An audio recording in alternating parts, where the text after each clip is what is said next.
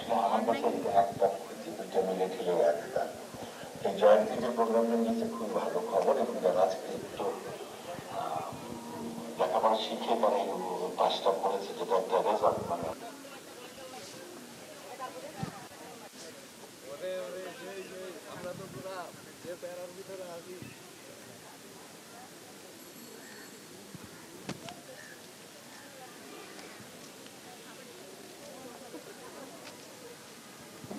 আমরা মেঘে যখন ঘর্ষণ হয়, তখন কিছু ইলেকট্রন মেঘে নিচে চলে আসে এবং উপরে ফাঁকা জায়গাটা থাকার কারণে সেখানে পজিটিভ ইলেকট্রনগুলো জমা হয়। তো পজিটিভ ইলেকট্রনগুলো যখন মানে স্বাভাবিক অবস্থায় ফিরে আসার জন্য মেঘে বড় স্পার্ক হয়, যেটাকে আমরা বলি বিদ্যুৎ চমকানো। তো অনেক সময় মেঘে অনেক বেশি আধান জমা হয়ে থাকে চার্জ তো সেটা যখন স্বাভাবিক অবস্থায় ফিরে আসার জন্য বড় স্পার্কের মাধ্যমে এটা নিচে চলে আসে মানে আর কি ভূপৃষ্ঠে চলে আসে, যেটাকে আমরা বলি বজ্রপাত। তো সাধারণত একটা বজ্রপাতে বিদ্যুৎ প্রবাহের পরিমাণটা থাকে তিনশো মিলিয়ন ভোল্ট এবং ত্রিশ হাজার এমপিএস। কিন্তু আমরা হাউস হোল্ড কারেন্টে যে বিদ্যুৎটা ইউজ করে থাকি, সেটা হয় দুইশো বিশ ভোল্ট এবং পনেরো এমপিএস। তো আমাদের বিদ্যুৎ বজ্রপাতের কারণে প্রায় বিশ থেকে ত্রিশ হাজার ডিগ্রি সেলসিয়াস তাপমাত্রা বেড়ে যায় এবং প্রচণ্ড শব্দ উৎপন্ন হয়। তো আমরা এত আমাদের সাধারণ যে বিল্ডিং বা স্ট্রাকচারগুলো এতটা বিদ্যুৎ নিতে পারবে না।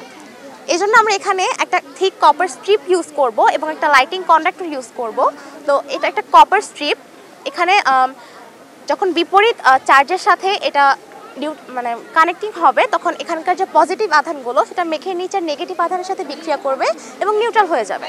তো আর বিদ্যুৎটা একটা থিক কপার স্ট্রিপের মাধ্যমে কপার প্লেটে এসে জমা হবে এবং লাস্টে কপার প্লেটটা ভূপৃষ্ঠের একদম ভূতলে গাঁথা থাকবে এবং সেখানে গিয়ে এটা নিউট্রাল হয়ে যাবে। বিদ্যুৎটা নিচে গিয়ে ফেটে পড়বে। যার কারণে বিল্ডিংটা বা স্ট্রাকচারটা কোনো ক্ষতি হচ্ছে না।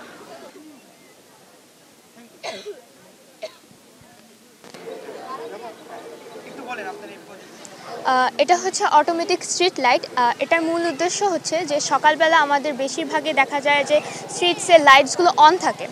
সেটা যে অপচয় হচ্ছে যে ইলেকট্রিসিটি সেটাকে আমরা কমানোর জন্য এই প্ল্যানটা রেডি করেছি। যে এটা অটোমেটিক্যালি সকালবেলা লাইটসগুলো অফ হয়ে যাবে এবং রাতের বেলাটা অটোমেটিক্যালি অন হয়ে যাবে। এখানে দেখা যাচ্ছে এই যে, আমরা এখানে অটোমেটিক্যালি অন হয়ে যাচ্ছে, কারণ আমি হাত দিয়েছি, এখানে ভিতরে ডার্কনেস হয়েছে, যার কারণে এটা অটোমেটিক্যালি অন হয়েছে।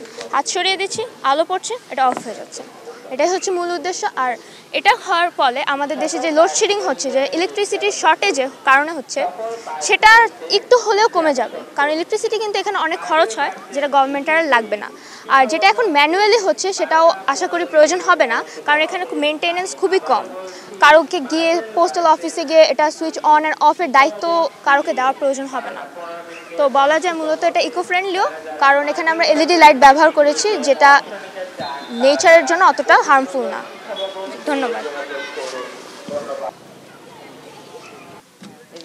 আচ্ছা আমাদের প্রজেক্টের নাম হলো advanced IoT based fertiliser irrigation system তো আমরা হলো এমন একটা ডিভাইস বানানোর চেষ্টা করছি এটা কৃষকদের বেশি প্রয়োজন হবে। কৃষকরা যদি গ্রামের বাইরে যাই, তাহলে তারা বাইরে থেকে ফোনের মাধ্যমে তারা গাছে সার দিতে পারবে প্লাস পানি দিতে পারবে। ফার্স্টে এখানে একটা ওয়াটার ট্যাঙ্ক আছে, যেখানে পাম্পের মাধ্যমে পানি নিয়ে যাওয়া- হবে আমাদের মেন ডিভাইসে তারপরে তিনটা কন্টেনার দেখতে পাচ্ছেন, একটার মধ্যে থাকবে হলো নাইট্রোজেন সার, একটার মধ্যে থাকবে ফসফরাস সার, একটার মধ্যে থাকবে পটাশিয়াম সার। তিনটা একটা মিক্স আপ এখানে তৈরি হবে। মিক্স আপ তৈরি হওয়ার পরে সেই মিক্স আপটা ডাইরেক্ট আমাদের গাছে চলে যাবে। আর এটা ফুললি কন্ট্রোল হবে আমাদের মোবাইলে একটা অ্যাপ তৈরি করতে হবে, সেটার মাধ্যমে ফুললি কন্ট্রোল হবে, এই যে এখানে দেখানো হচ্ছে। এটা হচ্ছে আমাদের প্রজেক্ট এটা হচ্ছে জেনারেটিং ইলেকট্রিসিটি বাই ওয়েস্ট বা ট্র্যাশ এখানে এটা হচ্ছে আমাদের বয়লার এই বয়লারের মধ্যে, এই বয়লারের মধ্যে আমরা ট্র্যাশ দিব। মানে ওয়েস্ট যেগুলো, সেগুলোকে পুরাবো। সে পুরানোর ফলে এখানে যে একটা তাপ মানে তাপ সৃষ্টি হয় সেটা যাবে এখানে। তাপ বা ধোঁয়া সৃষ্টি সেটা এখানে। এখান থেকে কার্বন ক্যাচ হবে। কার্বন ক্যাচ হওয়ার পরে স্টিমটা এখানে এসে টারবাইন ঘুরাবে। গরমের মাধ্যমে এটা হচ্ছে হাই প্রেশার টারবাইন মানে যে ধাক্কাটা আসবে এটা এটা কন্ট্রোল করবে। তারপর লো প্রেশার টারবাইনটা ইয়ে ঘুরে বিদ্যুৎ তৈরি করবে, যেটা এই জেনারেশন থেকে এখানে যাবে। জেনারেটর চার্জ করার পর তারপর এখানে যাবে হচ্ছে কন্ডেন্সার যে স্টিমটা থাকবে। সেটা এখানে পানি হয়ে যাবে। দিয়ে এভাবে আমাদের প্রজেক্ট চলতে থাকবে। আর যে আলগা ধোয়াটা আছে, সেটা এখান দিয়ে বাইর হয়ে যাবে, যেটা কিনা পরিবেশের কোনো ক্ষতি করবে না। আর কয়লা কয়লা বলি ট্র্যাশপুরে যে ছাইটা বাইর হবে অ্যাশ সেগুলো দিয়ে আমরা সিমেন্ট বানাতে পারব। সিমেন্ট ফ্যাক্টরিতে ট্র্যাশ যাবে, দিয়ে ওইটাকে সিমেন্টে কনভার্ট করা হবে।